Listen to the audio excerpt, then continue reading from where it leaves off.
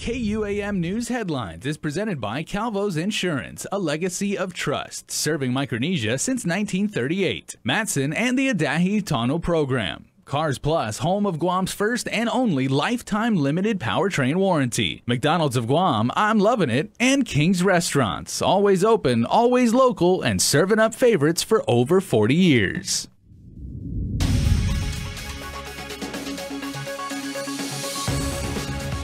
Ahead on primetime, the total of COVID related casualties is now at 63. Plus, the Guam Memorial Hospital sees an increase in hospitalizations. And in a week, DoDEA teachers and students will be making their way back into the classroom. Afre and good evening, everyone. Guam marked its 62nd and 63rd COVID related fatalities. Yesterday, a 58 year old man died at the Guam Memorial Hospital at around 5.55 p.m. He was a known positive case who was admitted to the hospital on September 14th. And early this morning, a 51 year old man passed away. According to the Joint Information Center, the man had underlying health conditions and was admitted to GMH on September 4th as a known positive. Governor Leon Guerrero saying, quote, Scripture tells us that even in the midst of mourning, we should not let our hearts be troubled, nor should we be afraid. We must remain unwavering in our resolve to protect each other from this virus because we must be the front lines in this fight. And out of 571 samples recently run through local labs, 86 people returned positive for COVID 19. Guam's case count is now 3,427. 1,072 cases are in active isolation, and 2,294 are recovered. Of the 86 new cases, 32 were identified through contact tracing. And the number of hospitalizations continues to soar at the Guam Memorial Hospital. As Joan Aguon Charfauros reports, it was peaking at just over 60 COVID patients this morning. No matter how high the numbers rise, Guam Memorial Hospital Administrator Lillian Posada says they're doing everything they can to provide patient care to COVID and non COVID patients. We don't have much of a choice but to manage and to handle. The total census to include non COVID patients at GMH as of Friday morning was 150, and of that number, 62 patients are receiving care for COVID, 12 are receiving ICU level of care, and 4 are on ventilator support. Of the 62, 8 are at the GMH Skilled Nursing Unit in Barrigada Heights, also referred to as the COVID Isolation Facility or SIF. The goal, according to Posadas, is to try to keep COVID patients off ventilators. Posadas says, at the direction of GMH Medical Director Dr. Jolene Aguon, they have stood up a robust proning program. Where every two hours, these individuals are prone are put in a proning position that will help them uh, with their lungs open up their lung capacity so that way they get better um, aeration and oxygenation so they don't get to the point where their lung tissues continue to collapse and need to be on ventilators. Proning is described as a process of turning a patient with precise, safe motions from their back onto their stomach so the individual is lying face down. It reportedly leads to better breathing. There is that uh, approach and that strategy that Dr. Aguon has launched with a team of um, you know support staff who go to every room and turn put patients in a proning position. So hopefully that that will continue to help these individuals uh, pull through this uh, COVID infection and not need to be on ventilator support. Aside from the proning approach, Posada says they are continuing to work on increasing nurse staff. 10 nurses picked up through their staffing solutions agency will arrive to Guam on Sunday, and GMH is continuing efforts to recruit more nurses here at home. And we've met with the uh, public health, who now has the authority and the oversight uh, uh, responsibility of the DOE nurses. So we're in communication with them to try and, you know, maximize the, their availability in the hospitals, both GMH and GRMC. As the numbers rise, everyone is urged to do their part by wearing a mask, practicing social distancing, and staying safer at home. Reporting for Guam's News Network, I'm Jonagan Charfris. Over in the CNMI last night, another three people tested positive for COVID-19. The new cases were identified by travel screening and confirmed diagnosis upon arrival. The individuals are now in an isolation facility for close monitoring, and the Commonwealth Health Corporation has initiated contact tracing, including passengers on the same flight. This brings the total amount of confirmed COVID-19 cases in the CNMI to 80. Overall, though, the CNMI's case positivity rate remains very low compared to Guam. Governor Ralph Torres' spokesman Kevin Bautista was a guest today on The Link Show. He explained that the strict travel and quarantine protocol for arriving visitors has allowed them to keep about 90% of their economy open. I think a lot of luck is involved, but I think putting in the work at the beginning of it to get to this point where we're able to, where I was able to get go to a bar on Saturday. Yeah. You know, socially distanced. Of course, we had some. There's there was some dividers like left and right within the bar, as mandated by our, our COVID nineteen task force and our ABTC folks. But to have this opportunity to achieve some sort some sense of normalcy um, within our community, I think is is a blessing. Bautista does say, however, that the Imperial Pacific Casino, which was a major contributor to government revenues, still remains closed and the Commonwealth remains on a nighttime curfew. Back here at home, the wife of a port employee speaking out on her frustration with the contact tracing process. Peter Santos reports. As we recently reported, there are now a total of 15 Port Authority employees who have tested positive for COVID. Nicole Flores, the wife of a port employee, took to the link this morning sharing her thoughts on the contact tracing process. He got a phone call from HR that um, one of his coworkers tested positive over the weekend. And so uh, they told him that um, they're going to schedule him for a COVID testing. And now we're here. As her and her husband wait in line at Public Health's Northern Region Health Center for their COVID test, Nicole asked why it took so long to get tested in the first place. What's frustrating is we got the call Monday and we're only going to get tested today. And everyone was getting sick day by day by day. And it's crazy because we have to wait that long to get tested. And then you want your poor employee to come to work after getting tested until you get the results. Directives from the Department of Public Health and the Joint Information Center encourage those who may have been exposed to get tested and quarantine for a 14 day period. But General Manager of the Port Authority of Guam, Roy Respicio, says things are a little different when it comes to port employees. Unfortunately, we don't have that um, ability here at the port. We're following the Center for Disease Control's guidelines for critical infrastructure that basically says for as long as you're not sick, for as long as you're not positive, uh, you come to work because of the essential nature of the Port Authority. 90% of the goods coming to the island come to the port, and we cannot even afford to shut down, not even for a day, uh, much less several days, much less 14 days. On the link this morning, Flores was critical of public health's contact tracing efforts. Public health is not doing the contact tracing, it's the people itself, then reporting it to HR. After HR, I really don't know what's going on because we have to backtrack who's our surrounding. General Manager Respicio cleared things up, noting that the port's contact tracing team has been in contact with public health in regards to possible exposures, with public health scheduling tests at the appropriate times. When Ms. Flores was talking about not being contacted by public health, I really think that that's a disservice to uh, public health because public health wouldn't have contacted her because she's she for all intents and purposes what has she been exposed to but i could tell you though that if god forbid on the on the event that the husband if he's positive then public health contact tracers will step in uh, and contact and make contact with her uh, other members of her household Respicio says that the Port Authority is taking all the necessary precautions to mitigate the spread of COVID within the port, enforcing strict COVID protocols. Respicio also commended Nicole for her courage in speaking out, adding that it's messages like these that keep us vigilant. Reporting for Guam's News Network, I'm Peter Santos. One of the most alarming developments announced at the governor's press conference yesterday was over the rise in hospitalizations. As we noted earlier in the show, every day we continue to reach new highs, and that's putting a strain not just on the ability to treat COVID patients, but on the entire healthcare system. Governor's Physician Advisory Group member Dr. Felix Cabrera says, by comparison, the peak hospitalization during the first wave was about 25 patients. We've nearly tripled that, and it's expected to get worse. We're looking at, you know, reaching 100, you know, triple digits anywhere from two to four weeks from now. Uh, and that's, um, you know, that, that's very concerning. And we have to remember that's just the COVID 19 patients. Hospitals still have to make space for all the other critical cases cancer patients, heart attack victims. Dr. Cabrera says that's why it's critical to contain the spread, and as he urged during the press con, people who feel sick should stay home and isolate.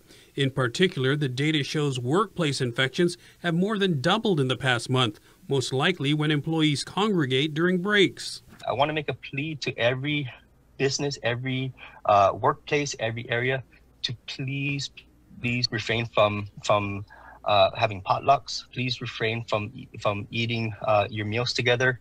Meanwhile, PAG Chairman Dr. Hoa Nguyen says equally alarming is the case positivity rate. Seriously, guys, this is probably uh, the most serious time that we have since March. The positivity rate is currently about 14%, the highest in many weeks, and Dr. Nguyen says it can be tracked to continued family gatherings. I wish we can just do that for two to three weeks of, you know, uh, stay put, you know, go to work, go home, and not go to another family to, to gather or to celebrate or to mingle just for two to three weeks and we will do very well to to get out of this uh, high number. Otherwise, he says, it may be time to get tougher on those who continue to ignore the social distancing protocol. We got to find people. You know, um, giving warning now, I understand we're giving thousands of warning already. Uh, warning have no teeth. It certainly hasn't changed a lot of people's behavior, says the good doctor, and maybe a smack to the wallet will. Testing by DPHS's rapid engagement team continued today at the Zero Down and Gil Baza areas in Yigo. Yesterday, Public Health reported 48 out of 124, or 39% of tests, were positive for COVID 19. According to Public Information Officer Janella Carrera during yesterday's engagement, they observed multiple households with small one to two bedroom units with many people living inside. Some households where there were, you know, uh, 10 plus people living in one unit. Uh, there were some compounds where there were um, two to three uh, homes in one compound, right, you know, right next to one another. And so those were some of the observations that we made yesterday. Carrera adds that the average age of those infected was mid 20s. Public Health reiterates multi generational homes are at high risk for infection. Tomorrow, drive through testing is scheduled at the Yigo Gym. Carrera says they are offering 200 tests and will be working closely with the SBSM consulate. In other news, the Superior Court has denied the government's motion for reconsideration in a case that challenged the mandatory 14 day quarantine for arriving passengers. Eugene Igros was one of the first petitioners to challenge the requirement to stay in a GovGuam facility. The court ruled in his favor last month after determining it was not voluntary. According to the decision and order, the government did not bring forward evidence of a voluntary quarantine form, the conditions the Igros family agreed to, whether they agreed to a certain duration, if there were opportunities to seek testing, or if they were allowed to seek legal counsel. The decision states that, quote, DPHSS simply failed to meet the burden of proving what voluntary quarantine meant in that instance. Stick around for more news here on Primetime. You're watching KUAM. Get up to the minute news, plus access to alerts, streaming radio, promotions, and more on your mobile device by downloading the KUAM News mobile app, available at the App Store now.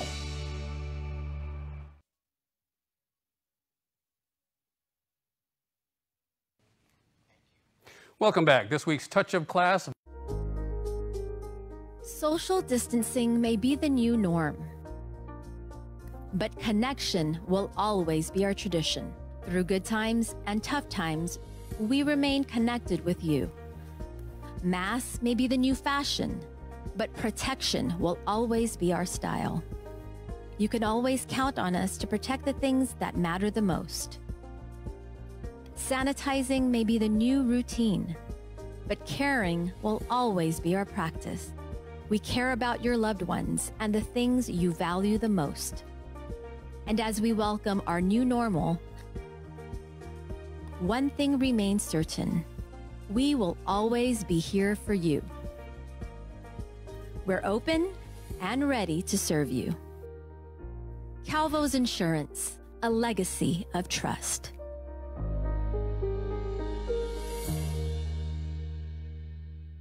We are in the middle of the most serious health crisis of our lives, and it affects everything from jobs to schools to the way we live. In addition to worrying about recovery, we must now worry about healthcare. And we shouldn't have to make choices between food and medicine, going to the doctor, or buying gas.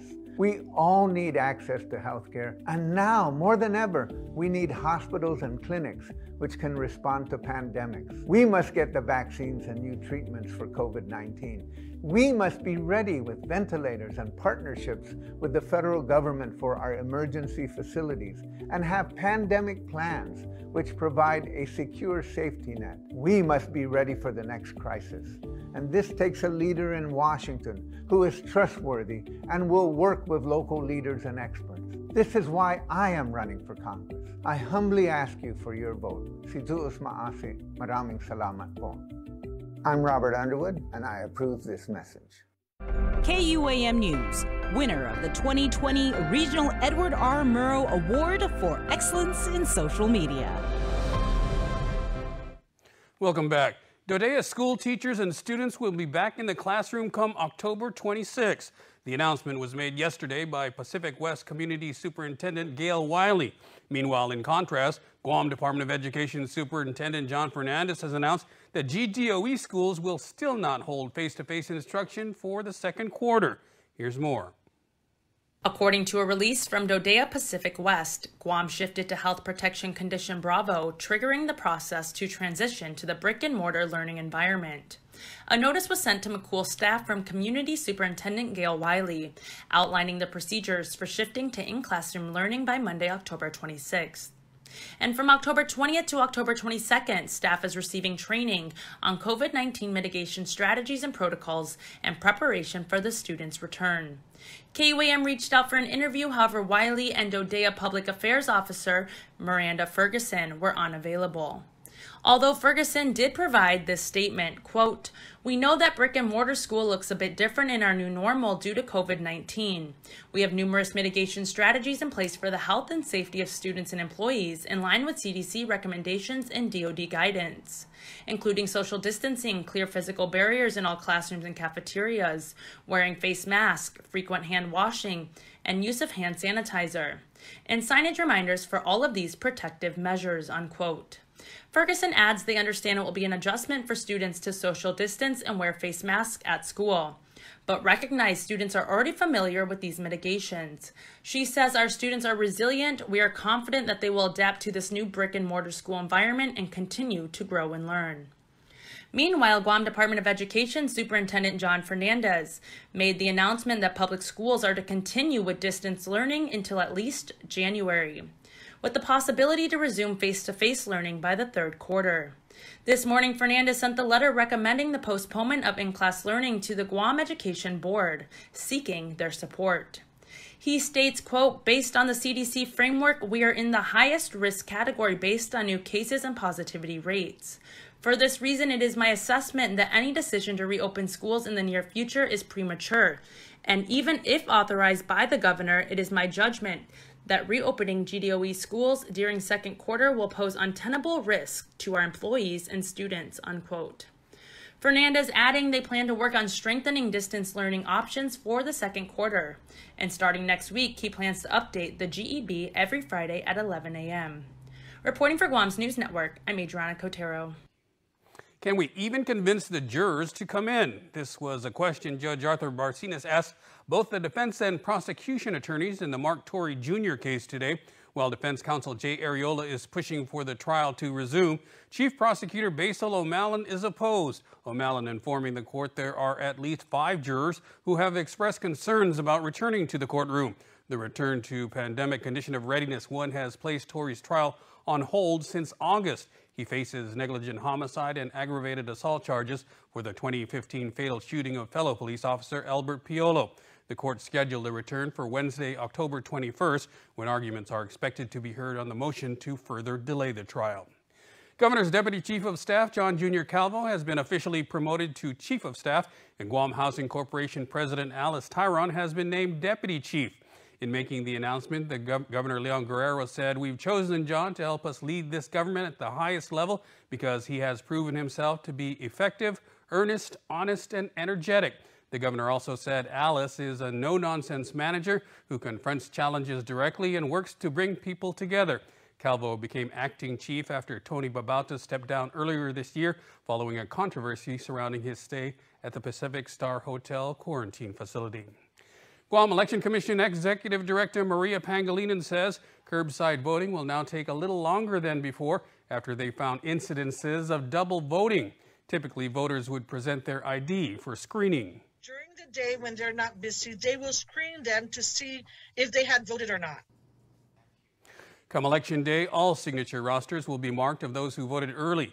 Pangilinan says the law states that cases such as double voting are to be referred to the Attorney General.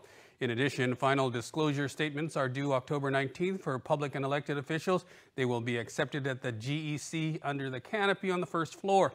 Pangilinan adds that the deadline for the 2020 general election candidates to turn in their preliminary campaign finance reports is October 23rd, and there will be early voting tomorrow at the Okkodo campus, campus in Dededo from 9 a.m. to 4 p.m. Bring your ID, wear a mask, and bring a blue or black ball pen. At around 11 a.m., units from the Guam Fire Department responded to a structure fire on Chalan Luadzao in Barrigada. According to initial reports, the fire started in the carport and made its way into the house through a bay window. The residents were not at home at the time and no injuries were reported. The cause of the fire is under investigation. And in national news, the presidential candidates competed for viewers, each holding town hall events at the same time on different networks. Unlike a formal debate, though, tonight's events allowed voters to ask the questions. Skylar Henry reports from Washington. Instead of sparring on the debate stage, the presidential candidates battled each other through dueling appearances President Trump in Miami and Joe Biden in Philadelphia. In a town hall moderated by ABC News' George Stephanopoulos, the former vice president attacked the Trump administration's handling of the COVID 19 pandemic. It is a presidential responsibility to lead. And he didn't do that. He didn't talk about what needed to be done because he kept worrying, in my view, about the stock market. In a separate event televised by NBC News, President Trump was asked if he remembered his last negative COVID test. I don't know. I don't even remember. I test all the time. Questions about racial unrest and law and order drew out the candidates' clashing views. And there's a lot of things we can do.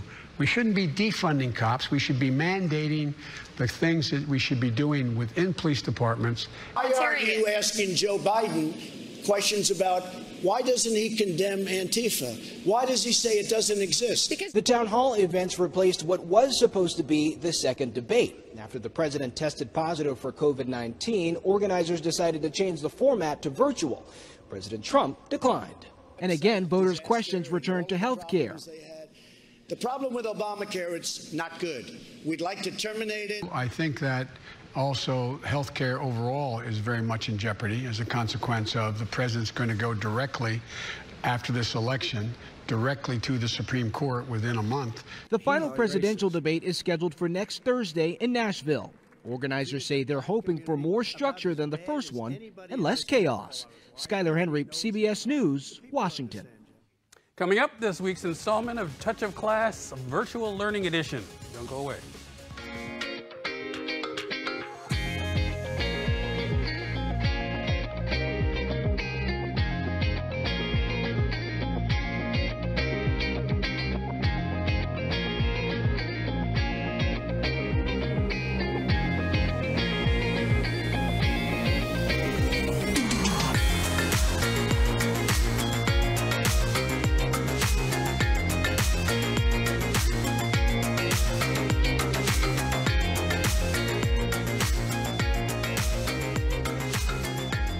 Community calendar is brought to you by Taco Bell. Whether it's your first meal or your fourth meal, we've got you covered. Taco Bell, live Más. The Taipei Economic and Cultural Office in Guam is pleased to announce the grand opening on October 10 at Suite 727 of the Guam International Trade Center. The event marks the 109th National Day of the Republic of China, Taiwan, known as Double Ten Day. 100% truck, 100% Jeep brand. The all new Jeep Gladiator is the most capable off road mid size pickup truck crafted for adventure. Equipped with best in class towing capacity, legendary Jeep brand 4x4 capability, and backed by Guam's only lifetime powertrain warranty. Drive home in a brand new Jeep Gladiator today, starting as low as $283 per paycheck during Jeep Adventure Days. Call us at 477 7807 or visit our website at carsplusguam.com to get pre approved today. We have just one voice representing us in Congress, one person to advocate for all of our needs and tell Guam's story to the nation. That's why I'm running to be Guam's next delegate to Congress, to serve as the kind of representative you deserve. But what does a vote for me guarantee? It's a vote for someone who can tell the Guam story, our sacrifices, our struggles and our triumphs, and why we matter to America. It's a vote for competency in securing more resources from the federal government, not as a handout, but because we are vital to the country. It's a vote for trustworthiness. Integrity and trust are not optional when representing you. They are required. I thank you for allowing me to serve Guam before, and I humbly ask you for your vote again. I'm Robert Underwood, and I approve this message. Welcome back. This week's Touch of Class Virtual Learning Edition features Mariana Santos of McCool Elementary School.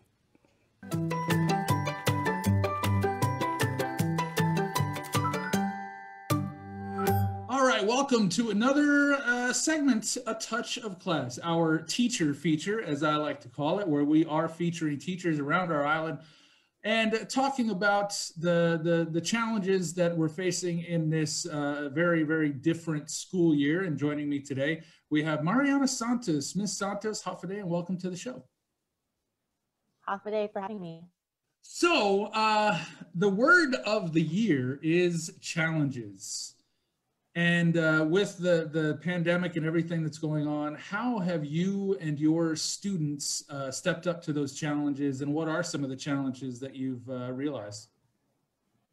Um, well, challenge is definitely the correct word to describe the year. Um, in, in my particular case, because I'm a special education teacher, so it's it's it's challenging to begin with. It's especially challenging when we move to remote instruction. Um, you know, my students learn in a different manner, um, and remote instruction has just presented its own challenges. Um, and but so far, I mean, since the beginning of this school year, we've been doing what we can to make it work with the support of their parents. They have been amazing and we are doing what we can to rise to the challenge that's right. been occurring. And with a lot of uh, you know especially uh, special ed kids they, they need that personal touch that hands-on experience uh, to help them uh, process certain things. So uh, how have you kind of gotten around the fact that you just can't be there for them physically? Um, again it is with a lot of parent support. My parents have been phenomenal. Um, we, what we've done is we've created a consistent schedule for my students.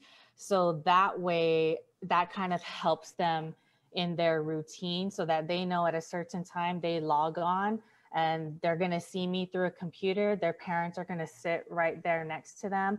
Some of the things that actually require um, some hands on help the parents are right there doing it with them with um, you know and as i guide them through it. And so that's kind of been that's kind of been the big um, the big factor here is how much i've worked hand in hand with parents to make my students as successful as they can be. Right. And uh, most of the teachers i've talked to have said that that in this this year the way learning is now they it would not be possible without the parents uh, taking an active role in their child's education, uh, making sure they stick to the schedule, do the homework when you don't have the teacher hovering over them. So, what mm-hmm. do you what would you like to say to all the the parents out there and the students uh, as we all try to get through this, uh, you know, one day at a time? Um, thank you. You guys are phenomenal.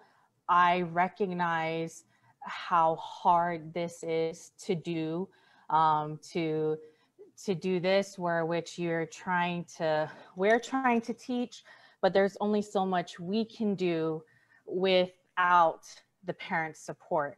And so, to my parents, especially, and then to all the parents out there who are at home sitting with their kids, those who have more than one kids, and then in, for my particular case, my parents who have children with special needs, um, you guys are rocking it. Keep doing what you're doing. I know how hard it is. Yeah, and it takes everyone, uh, the students, the parents, everyone, especially the teachers. Uh, we're all going to get through this together. We just have to be patient. And uh, we're very, very, very thankful that we have teachers like you, Mariana Santos. Thank you so much. Thank you.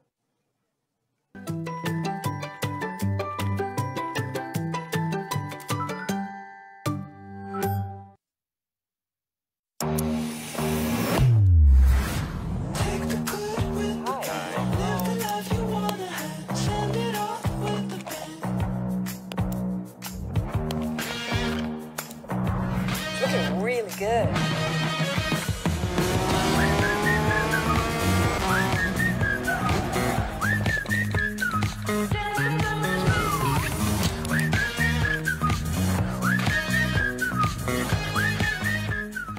Guam's auto appearance specialist, Elegant Reflections, has been providing the automotive industry with professional detailing and car care products at its highest quality from complete detailing, full interior detailing, exterior detailing, headlamp restoration, hand washing, seat and carpet shampoo, engine degreasing, undercarriage cleaning, paint sealant, fabric protection, paint oxidation removal, and so much more. Visit us at our new location. Call 646-5555 for an appointment. Elegant Reflections, Guam's auto appearance specialist, over 20 years of experience.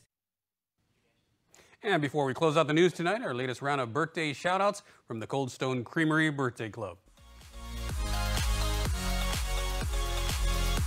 Happy birthday to Ivy Nadine Mendoza. Happy birthday, Ivy. Enjoy your blessings on your day. Love from your families in all four corners from the north, east, south, and west. All directions. Awesome. Happy birthday to Jessica Lancy Johnston. We love you and are so happy you are here with us. We love you, say Tanner, Connor, Mom, and Dad. Kainia Grace Roman, happy birthday, princess. We hope you enjoy your special day. We love you, say Nana, Papa, Mom, Dad, and the family. Ruben Rabanio Jr. celebrates birthday number Big 44. Happy birthday, brother, coming from your grandma, your sister, your nieces, your nephew, and the entire family near and far. Happy birthday to Carlos Herrera, who hits the half a hundred mark. Happy birthday 5-0 to Carlos, aka the Hitman. Cheers to good health and have a blessed day. Love your wife, kitties, and Carson Miguel. Oh, Bret Hart sends you a uh, nice birthday shout out too. Woo! The best there ever was, the best there ever will be. Carlos Canata, aka Boboy, happy birthday. May you enjoy your special day. We love you. Love Carson Miguel, Greggy, and Carlos Boy. All right. And happy belated birthday wishes going out to Juwan King. Happy blessed birthday, Jew. We love you unconditionally. Hugs and kisses from Mom, Andre, your brothers, and the family. And finally, it's that time of the week where we announce the winner of a delicious Cold Stone Creamery cake. This week's winner is Keith Torres, who was born earlier this week, well, several years ago, on October 11th. So, Keith, we are happy, pleased, and privileged to give you and your family a happy extended birthday, and we wish you safety, health, and happiness, and we will be in contact with you to let you know how you can safely retrieve your Cold Stone Creamery ice cream cake. Have an extended happy birthday. Please be well, and we'll see you soon. And that's our report for tonight. Thanks for watching, everyone. Have a great weekend and stay safe.